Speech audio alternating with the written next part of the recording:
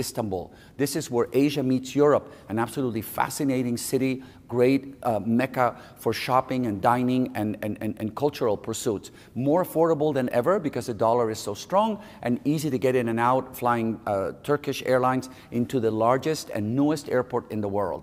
You can stay in a former palace or a design forward hotel or a small boutique intimate property. I want you to visit the Turkish Modern Museum, which is absolutely amazing, and go behind the scenes at the Dolmabahce Palace. But Istanbul is absolutely back in business and very, very much uh, uh wants, uh, you know, to, to welcome you.